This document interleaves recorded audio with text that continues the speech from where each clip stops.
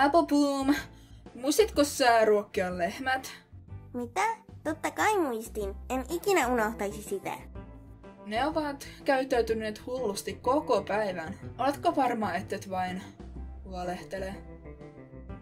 Applejack, en koskaan valehtelisi tällaisesta. Minä puhun totta. Oikeasti. Mitä? Hyvänen aika! Sain söpyismerkkini. Erityistaitoni taitaa olla valehteleminen. Hmm. Tai siis ei. Ei ole.